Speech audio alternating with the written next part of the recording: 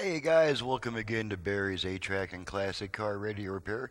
And uh, this uh, this video is uh, going to be on the subject of grounding. Uh, I just kind of felt like I'm in the mood to, to, to explore some areas of grounding and uh, explain. Uh, first of all, I'm going to dispel a very popular myth about grounding. Um, but uh, before we do that, um, I'm going to mention uh, kind of a happy note in uh, in my business life and professional life is uh, because I now spend a good 12 hours a day in, in the chair that I sit at the bench at working on units. Uh, in order to prevent problems like my legs falling off from lack of circulation, I finally invested in a $300 office chair that I can actually sit Indian style in this thing and uh, be relaxed and be at the perfect angle without having to lean forward or backward, just be completely relaxed while I work. Uh, it's very much uh, has made a difference in my uh, fatigue level, my ability to spend long hours at the bench at overnight. Usually, uh, sometimes it's not really all that terribly unusual to have a 24-hour shift in this shop, but just depending on deadlines and stuff like that.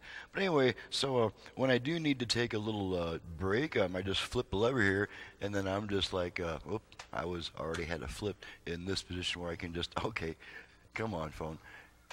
There we go. Uh, I can just kick back and just watch my little TV here for a good couple of minutes. But um, this is a pretty informal video, so I'll just stay in this relaxed mode for, for a while. Um, one of the uh, most popular myths about grounding is that if you're in a, if you're in a car and you get struck by lightning, you're safe because your car is grounded. Okay, you probably are safe and your car as far as the lightning is concerned is effectively grounded but your car is not actually grounded uh, it's being held up on four points by 12 inches of air and rubber, so it, your car cannot possibly be grounded. The only way your car could be truly grounded is if you're parked jammed up against a metal building that is grounded, and that's how your car can be truly grounded. But now the reason that your car is grounded as far as a lightning bolt is concerned is because this lightning bolt is traveling, you know, from, you know, thousands of feet up, um, and it can't even uh, it cannot even make the reach until it knows it can make a strike, basically. Uh, any type of electricity uh, cannot even begin to travel until it has a destination uh, and uh, a pretty much kind of a pre-programmed way to meet that destination. Uh, in the case of a lightning bolt, it's usually a trail of ionized air that is created when the lightning starts to get their strength and it finds a high spot that's a pretty good conductor to ground, and you know a, a, trail of ionized air begins to form because of the potential, and that's what gives the lightning basically a path.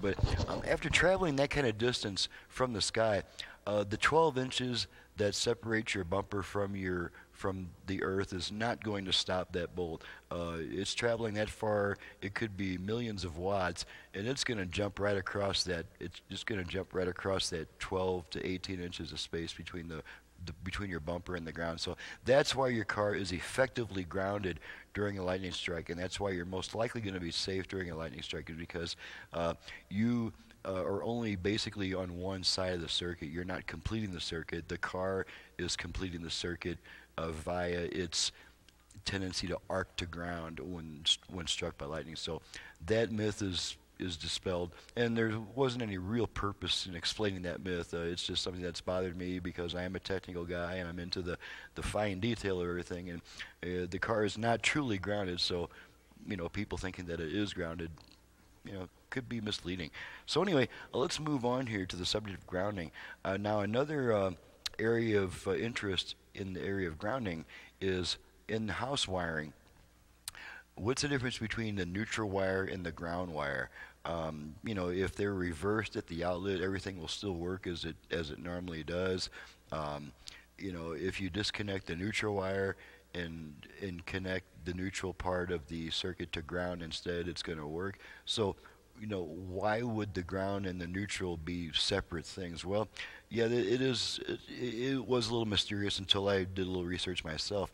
Uh, but uh, the, the, basic thing to remember is that the neutral wire, uh, while it's at supposedly negative, you know, or zero zero voltage potential, it is still carrying the current back that was delivered by the hot wire.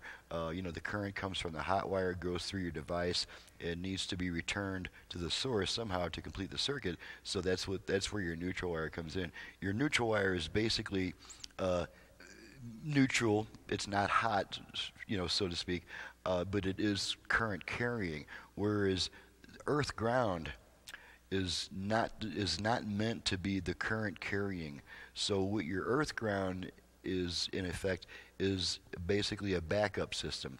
In case your neutral fails, then your earth ground will provide the path for the current to return.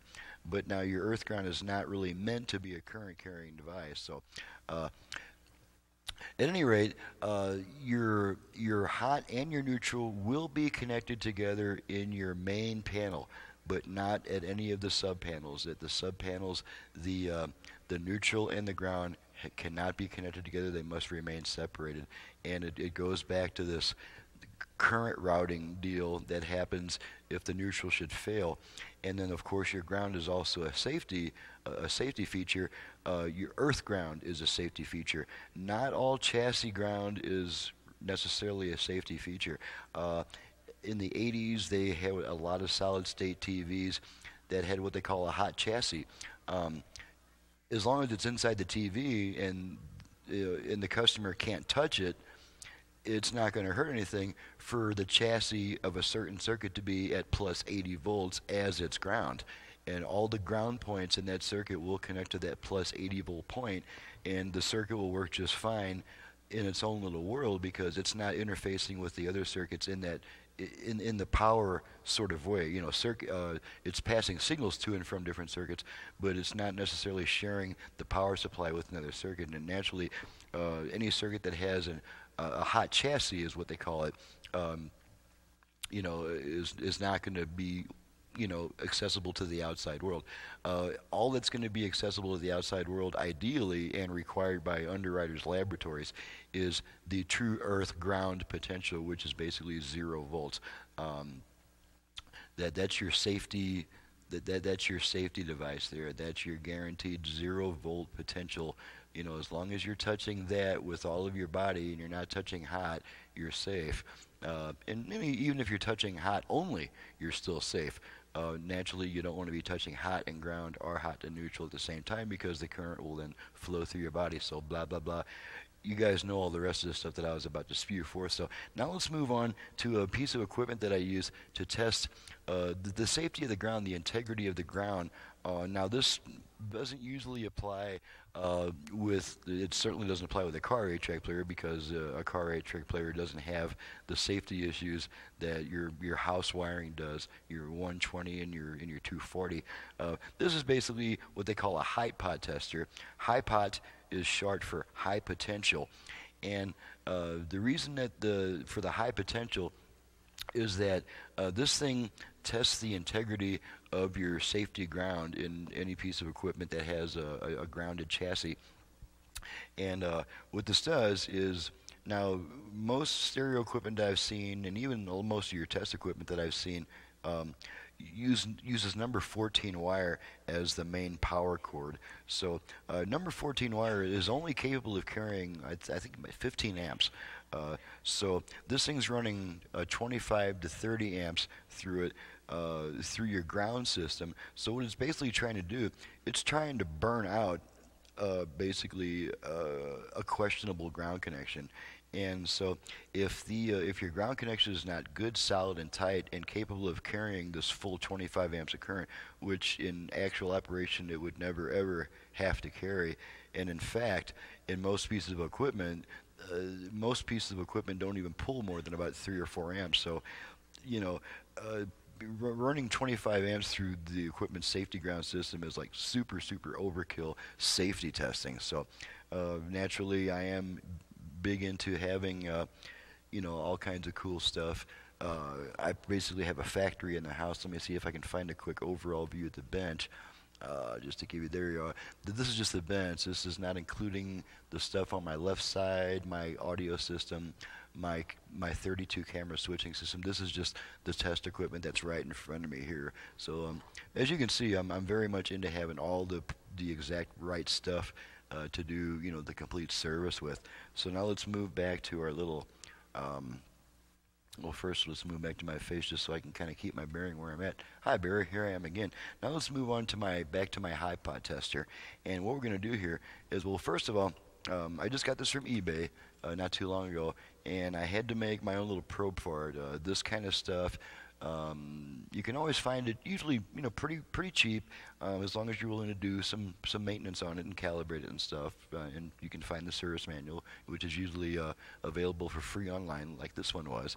And uh, well, I had to make a, a 25 amp grounding cable uh, as the main source of uh, power transfer from the the ground connector to the device under test. So um, this thing has what the is normally uh, called a banana plug. This is a, a, four millimeter banana plug. It's uh, pretty much the standard uh, for equipment that does not use BNC connectors.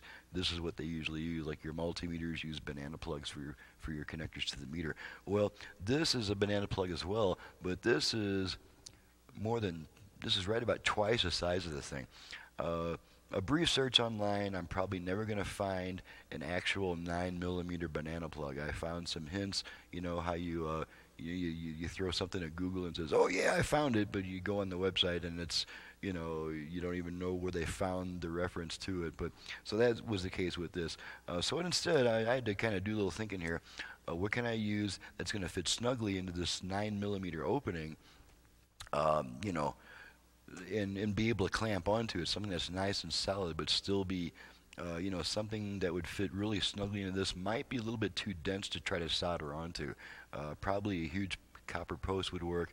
But anyway, uh, I was kind of uh, wanted to find a solution pretty quickly, so I just did. Uh, let me grab a different camera view here, see if we can find. Um, oh, I think this is probably a good camera angle to look at this one from. Okay, this is the the little probe that I end up making.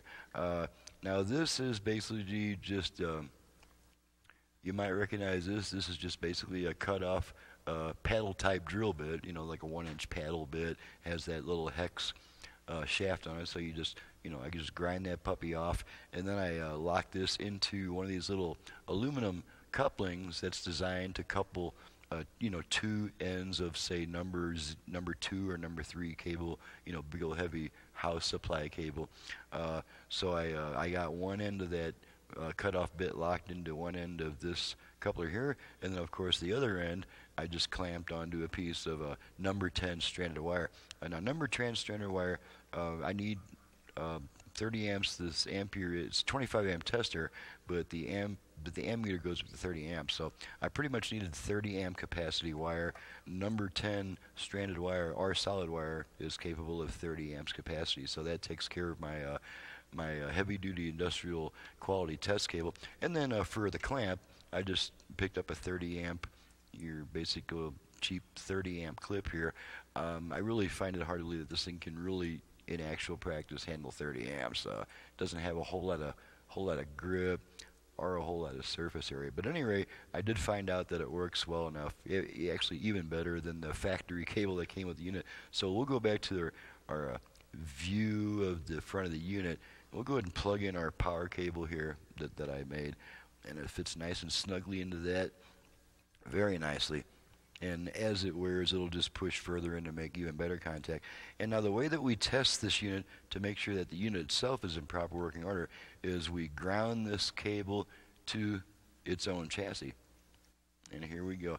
Now, according to the manual, um, I did set up and calibrate this unit. Um, it wasn't real hard to calibrate. It only required standard test equipment that I've got. Um, and it calibrated just beautifully and pretty well precisely. And so now we're going to, uh, basically what we're going to do, we're going to, uh, we're going to test the units make sure that it works like it's supposed to, uh, but we're also going to measure the resistance of this cable I made, which according to the manual, the cable that they supply with the unit is supposed to be, uh, let's see, 0.01 ohms, which is one hundredth of an ohm. That's an extremely low resistance. Uh, their cable is supposed to be one hundredth of one ohm. So let's go ahead and fire this thing up. I'm going to zero zoom in on the meter here so you can see what's happening. So what happens here is I'm going to press the start button to start the test. It's going to feed 30 amps through this cable to the chassis and it's going to measure it's going to use that heavy current to get a true resistance reading on the uh, on on just this cable here because we're just connecting to the machine and testing the resistance of the cable. So let's go ahead and hit the test button or start button. We're drawing about 30 amps, and you can see my resistance uh, is only about um, half of what the resistance of this factory supply cable would be. So my cable actually makes much better contact. Mine is a better cable a heavier duty cable making better contact, it's only half the resistance of the factory cable. So that's a pretty cool thing there. Let's, uh, let's see if I can get an exact reading on that. Let's see, one major tick mark would be one hundredth of an ohm. So half of that would be one two hundredth of one ohm. So that's what my cable is measuring, one two hundredth of one ohm.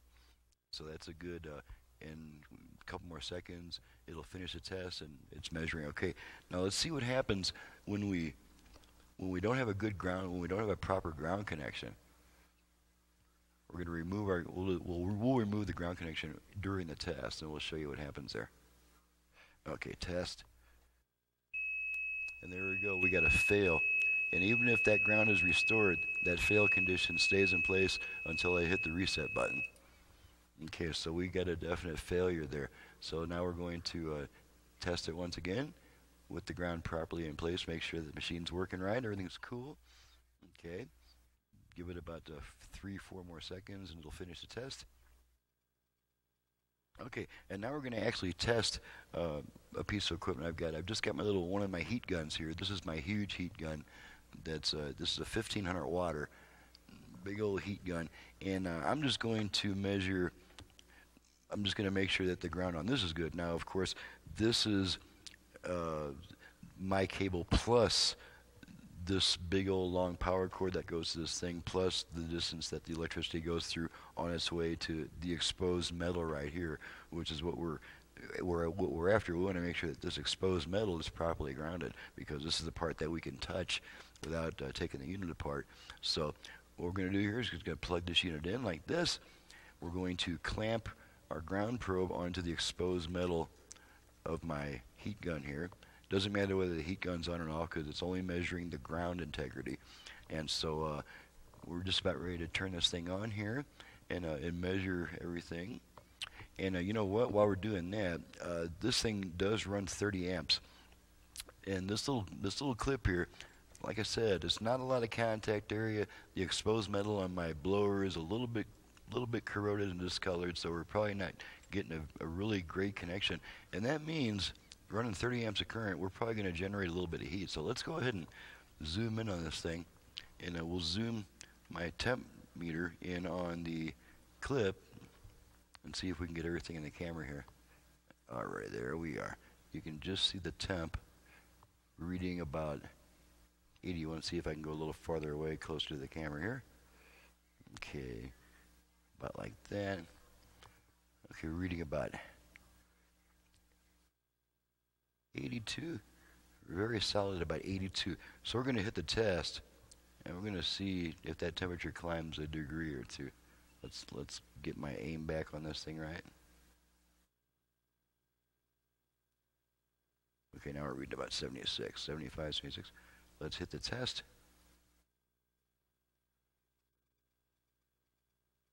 We may need to cycle it a couple of times to get that temperature to climb. We'll go ahead and cycle it again.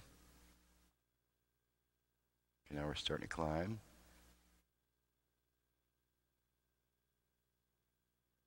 I guess we weren't.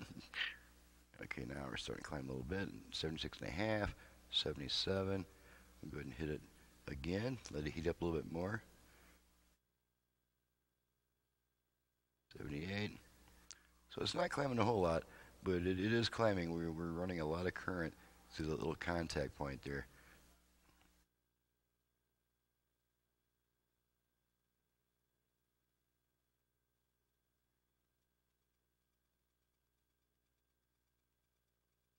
We're getting close to 80.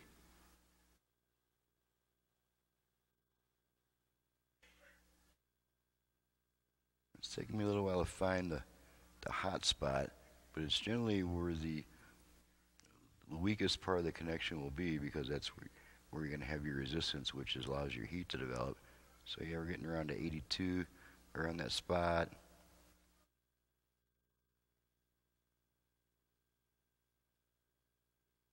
By 84. Okay, so yeah, we can we can see, and I can probably reach it, and it's, oh yeah, it's it's noticeably warmer.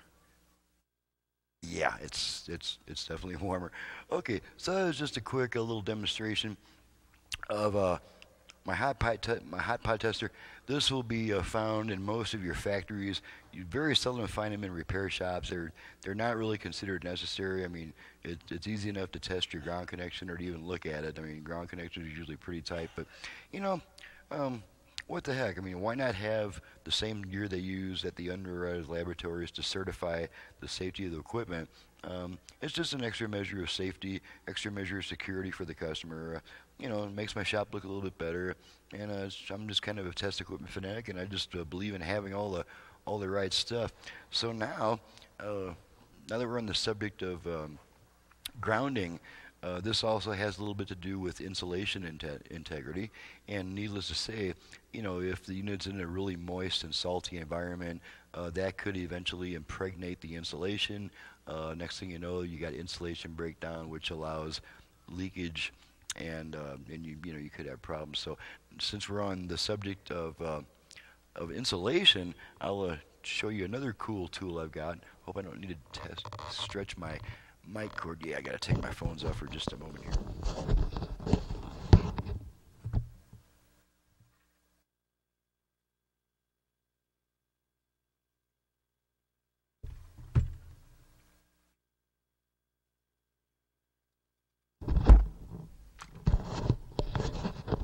Okay this other little piece of gear I have is uh, is also meant to test uh, insulation integrity of one form or another.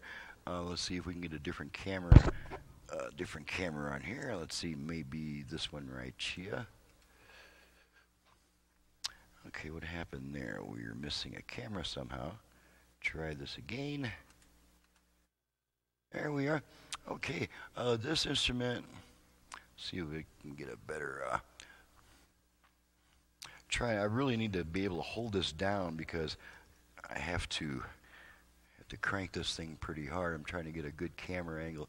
Uh, let's see what happens when we try the overhead cam. If it's anywhere close. Nope, it's really not anywhere close. So that one's not really going to do us much good. So, okay, we'll just uh, refocus a different camera, I guess. Uh, maybe let's try this one. Okay, that camera uh, is not okay. Let's try camera 16. My my fault. Sorry, guys. Alrighty, let's see. This uh, this will probably work. Okay. Just need to move up a little bit. So we will dismantle this for the moment and just kind of move it back a little bit. Give us more room to see what we're doing.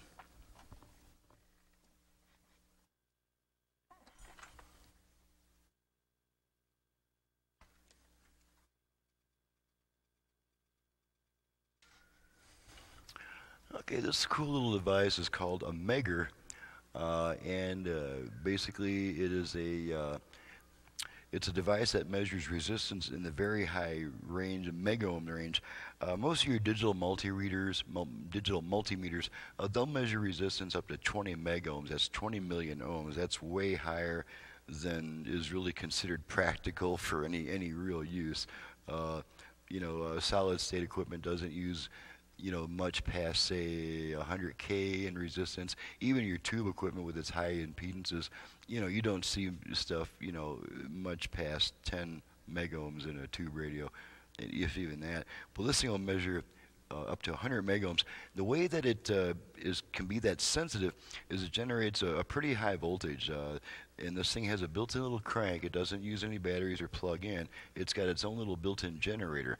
And uh, if you put your fingers, if you, if you just touch the ends of these wires onto your finger while you start to crank this thing, uh, you immediately feel quite a shock. I'm just going just for fun, I'm gonna give myself just a little shock just to see if I can remember it. Oh yeah, oh yeah. Oh wow, yeah. Okay, yes. This thing, uh, and let's go ahead and measure this thing. I don't currently have my multiplexer in the circuit where I can get uh, three or four different camera angles, but let's just see if we can get the multimeter in on the scene. Uh, that would be probably camera six. Okay, there's our multimeter, and I'm just going to connect this multimeter to the output of this of this Megger, and I'm going to crank up the generator, and we should get about 500 to 550 volts. Okay, so we're going to be measuring probably AC voltage because it is a generator. Generators don't produce DC until it's rectified and filtered. Uh, let's see, voltage, AC volts, let's put it in the 2000 range. Alrighty, let's start cranking this puppy and see what we can get this voltage up to. Okay, something's not right here. It should be getting much higher than that. So let's just see what we got wrong here. Maybe this does have a rectifier and filter. Okay, so yeah, this thing's putting out 540 volts DC, and I'll show you, um, I'll give you an overall view of what I'm doing here. Okay, now you probably can't see the meter, but you can see me cranking this thing. And right now we're at about 530, 540 volts. Crank it real slow. It goes down to about 100, 120, 120, 30 volts. Okay, so anyway, what it's doing here is uh, now we're going to focus on the on the meter. Find the camera that I'm using here, probably this one. Okay, this is our little meter. Now, one thing you'll notice about this meter is it doesn't have a spring action that returns it to zero. Um, you know, if you allow it to waver, if you allow it to, if it if it wanders, you know, to a reading, it tends to stay there. Well, there's a, a reason for that. It doesn't really need to to be mechanically returned to zero because the moment you start cranking it, that is without anything connected to it, the moment you start cranking it, it zeroes itself out. See, like that. It just it's kind of like an electronic electric equi, electro equilibrium type thing that zeroes itself out. Now it is currently generating 500 and something volts, and now what we're going to do is we're going to measure. We're going to we're going to grab a couple of really high value resistors. and We're going to measure uh, and see what kind of accuracy this thing's capable of. Uh, and like when we're measuring, if I grab a say a 10 ohm, if I if I grab a, a 20 mega ohm resistor and it reads 20 mega ohms, that means that um, if I were measuring resistance, 20 megohms is a pretty low value of resistance uh, for insulation. So that would so that that would suggest that the insulation is starting to break down. If I was reading just say 20 megohms or even 10 megohms uh, on a on a piece of wire compared to its insulation. So let's just go grab a couple resistors here. I'll be right back.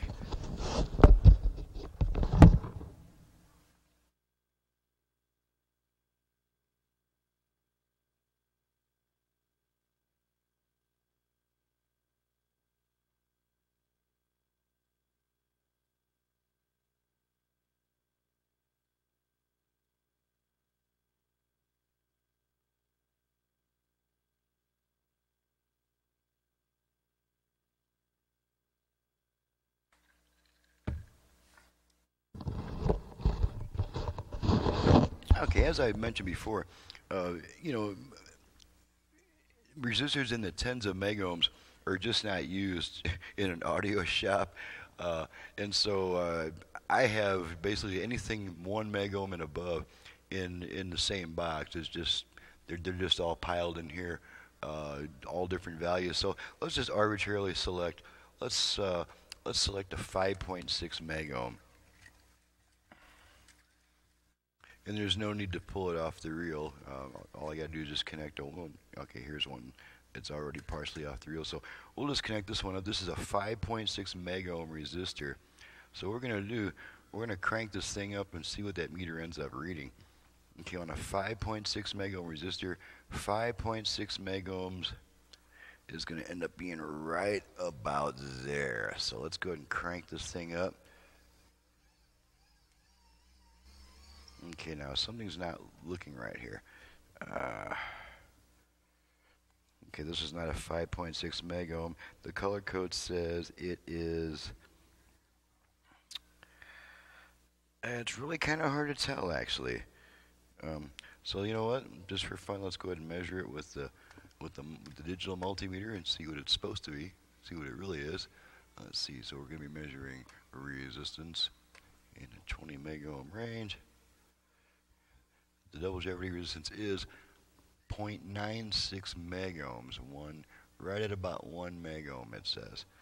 Okay, so let's go back here. Okay, one megohm is going to be right about there. There's your your one megohm mark. So let's go ahead and crank it up again. Okay, as we can see,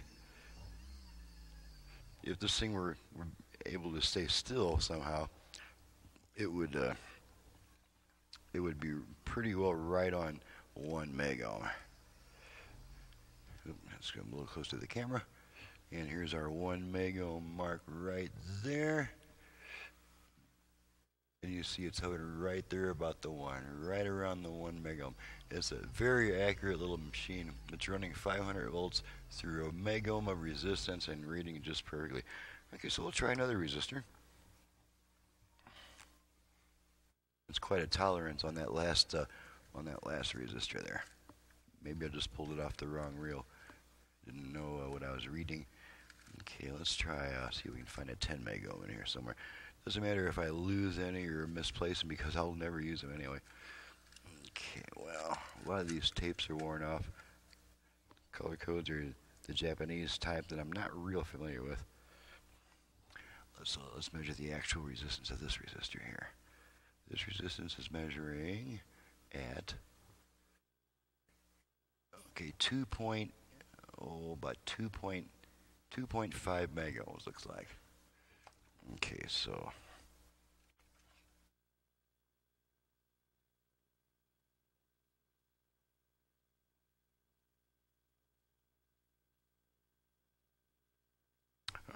Got a 2.5 megohm resistor hooked up. 2.5 megohms is going to be just above where the needle is now. So let's crank her up, see what we get. And we're right at 2.5. And just so we know that it's not the meter just being lazy, if we disconnect the wire, that needle goes way down, back down to 100 megohms, which basically means infinite resistance for all practical purposes. Hook up to 2.5 megohm again, and we come back up with 2.5 megohms. Okay, and this thing will also measure uh, smaller resistances directly, which is a pretty cool thing. This uh, the, the, the other scale it has is from zero to 10,000 ohms, which uh, pretty much stops right where the uh, megohm scale uh, starts up. So that's kind of a neat. Uh, on this resistor, it's going to probably read way off yeah, way off scale because it's just way out of range there. But if we go with a lower resistance, let's uh let's put a like a hundred ohm resistor in there, and uh, we'll watch it read hundred ohms. I'll be right back.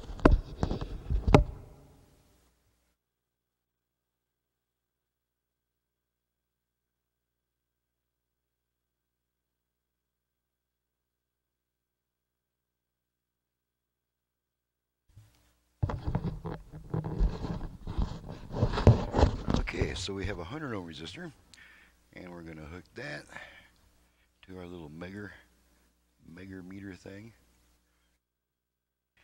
And 100 ohms will be right about there. We're reading the bottom scale now, so 100 ohms will be 100 ohms should end up right about there. So here we go.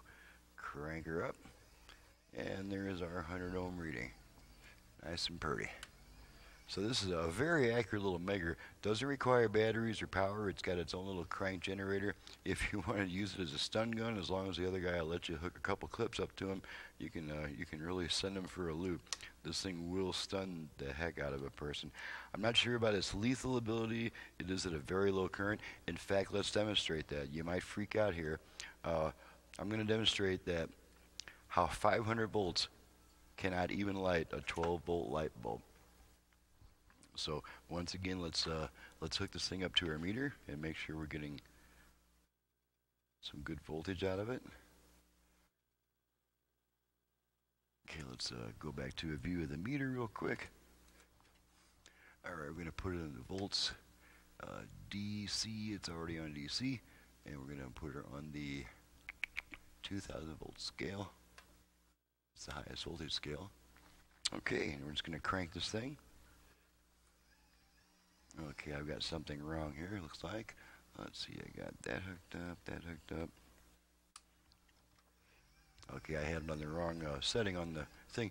Okay, so we are putting out 540 volts. But it's at such a small current, that even though it can cause one heck of a sting to the human body, possibly even stop the heart, it's not enough to light even this little 12 volt lamp. So let's switch to a different view of this thing. Let's go to our view that we normally have for our unit under test. Here's our little light bulb. We're going to hook our, let's see, we should be able to just snap that right around the whole perimeter. Alrighty, and then let's stay in place. It will if I hold it. And as long as I'm only holding one side of the circuit, I won't get shocked. Okay, I'm only touching one side of the circuit. Okay, and now here we go. We're going to crank this thing and probably won't even be able to light that light bulb. Okay, here we go. Nothing. Not even the slightest glow out of that. And, and we're getting a spark when we connect and disconnect the, the, the clip from the bulb. We're getting a little spark, but we're still not getting nearly enough to light that bulb. So let's try a 6 volt bulb. 6 volt bulb, that's probably going to take too much current too. But we'll try it just for fun. See if we can get just a little bit of a glow out of it. Okay, here we go with a 6 volt bulb.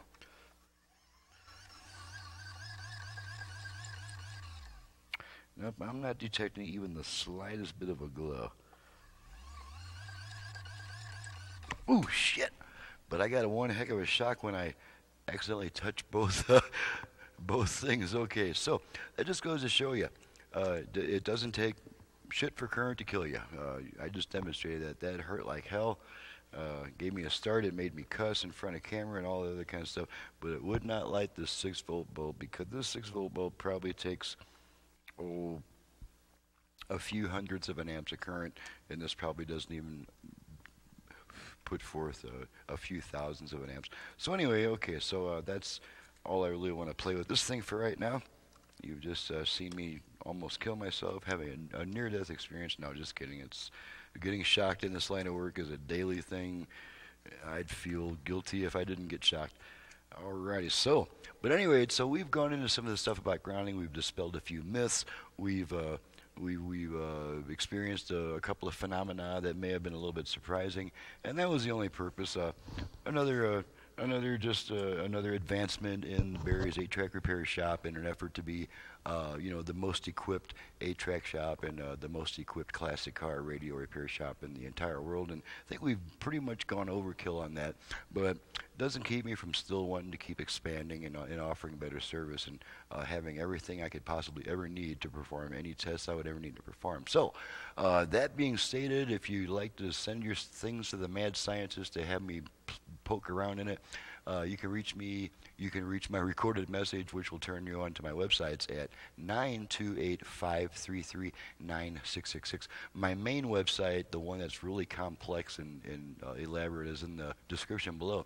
Thank you very much for watching and listening. We'll see you next time.